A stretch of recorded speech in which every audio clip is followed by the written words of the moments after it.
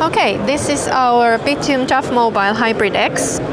It's our Tough Mobile smartphone combined with a pack cover that connects to a Tetra or PMR device, and you can manage uh, the device uh, with the back cover, and uh, you can communicate to both users of the LTE network and users of the Tetra network.